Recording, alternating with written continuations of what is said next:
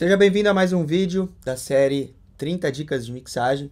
E hoje a gente vai trocar uma ideia sobre Linear Phase ou Zero Latency, que são dois modos diferentes que a gente tem em alguns equalizadores, incluindo o FabFilter Pro Q3, que é um dos mais utilizados pelos produtores de música eletrônica. E antes da gente começar, só quero fazer um convite. Se você quiser conhecer a minha mentoria avançada de mixagem, eu vou deixar um link abaixo desse vídeo aqui. Essa é a mentoria Audio Mix Pro. Durante 60 dias eu vou entregar o meu conteúdo mais avançado, vou te dar todos os feedbacks e a gente vai mixar várias músicas ao vivo. Vai ser um programa muito intenso, muito massa. Eu vou deixar o link aqui abaixo do vídeo para você conhecer. Então vamos lá. Bom, você já deve ter ouvido falar nos diferentes tipos de equalizadores, de modos que a gente tem dentro de do Pro Q3, por exemplo, tá? Então a gente tem, quando você abre ele, ele já tá aqui em Zero Latency. Deixa eu colocar um pouquinho mais para cá. Ele já vem como padrão o Zero Latency. E tem o Linear Phase. Dependendo do EQ que você vai utilizar, se é um nativo do Logic, por exemplo, a gente tem também aqui o Linear Phase. Então, o que, que, que é Linear Phase? Quando que eu uso um, quando que eu uso a outro? Bom, primeiro vamos entender uma coisa. A gente tem uma onda aqui, tá? Essa aqui é uma onda de um baixo. E essa onda, ela tem uma coisa, toda onda, né? Ela tem uma coisa chamada fase.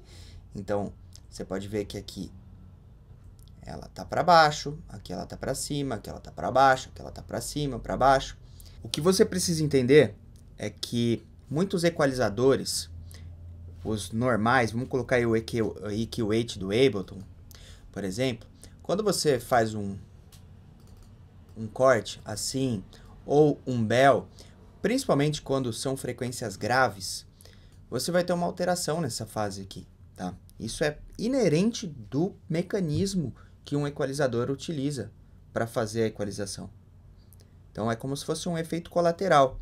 A gente vai ter uma alteração nessa fase. Às vezes ela dá um flip. Então, por exemplo, eu vou pegar esse equalizador, vou fazer um corte aqui bem, bem brusco assim. Quanto mais intenso for esse slope aqui, que agora ele tem até o brick wall na versão 3, quanto mais intenso for esse, esse slope, maior a alteração de fase que causa. Então a pergunta é: quando eu devo aceitar essa alteração de fase e quando não? Já vou responder essa pergunta, fica tranquilo. Então vou fazer um corte bem ridiculamente agressivo aqui, só para a gente ver o que acontece. Vou dar um bounce in place aqui, só para a gente dar uma olhada nas ondas aqui, para ver o que aconteceu. Eu estava aqui no modo Zero Latency. E olha que loucura que aconteceu nessa onda. Teve uma latência muito grande, né? Embora no Zero Latency. E a fase completamente zoada. Vou tirar o Brick Wall agora. Vou fazer só um corte assim. Vamos ver o que acontece. Aqui já não teve aquela latência. Mas a gente pode ver que as fases já não estão muito alinhadas mais, né? Tá um pouco aqui, ó. Você vê aqui, como por exemplo, essa parte está para cima e essa parte está para baixo. Aqui já ficou um negócio meio diferente também, ó. Olha aqui, está completamente fora de fase. A fase está relacionada com a posição da onda no tempo tá? Eu tenho uma timeline, então eu pego a onda daqui e passo para cá, eu mudei. Mudei aqui a fase dela, tá?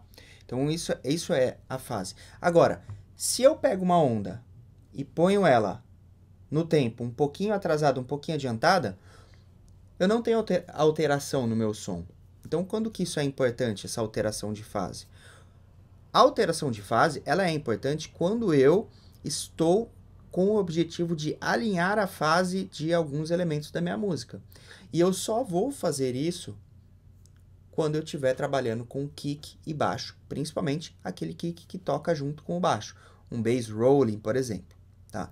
Então eu só cuido de alinhamento de fase no final da mix, quando eu vou alinhar os ajustes finais do kick e do baixo, beleza? Agora, então, na maioria dos elementos, essa pequena alteração de fase é irrelevante. Mas até mesmo no baixo, acontece o seguinte. Às vezes, eu vou fazer um corte aqui, assim, no modo Zero Latency. Você pode ver que não, não teve latência, né?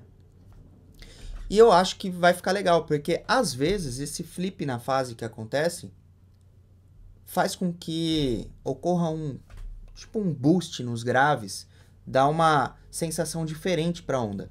Então muitas vezes esse efeito colateral acaba sendo agradável, acaba sendo legal. Ele só é complicado quando eu estou alinhando a fase do meu kick e do meu baixo. Mas uma vez que eu já equalizei o baixo, eu posso passar para áudio, a fase não vai mexer mais, eu deixo ele certinho e aí eu posso fazer o alinhamento com o kick, tá? Agora, e o linear phase? Quando que a gente vai usar um linear phase? O linear phase, eu posso fazer um corte meio bruscão aqui, de 48, por exemplo, e, teoricamente, não vai ter alteração de fase. Ó. Você tá vendo? Não teve, basicamente, alteração de fase. Aqui no final deu uma mudada, porque isso aqui são os graves que eu acabei de filtrar. Mas a fase da onda, ó, ela é preservada. Ela é preservada, ela é preservada. Agora, Pode ocorrer, nesse caso aqui não ocorreu, mas pode ocorrer um pouco de latência na minha onda e pode ocorrer uma coisa chamada pre-ring. É como se eu estivesse borrando o meu transiente inicial. Isso é um efeito que pode acontecer também. Vamos fazer de forma um pouco mais agressiva aqui o linear phase. 96, cortando aqui. Então, isso, tá vendo? Que o baixo começa aqui, ó. Olha o que acontece. Claro que eu fiz um efeito bem exagerado, mas isso aqui, ó, é o pré-ring.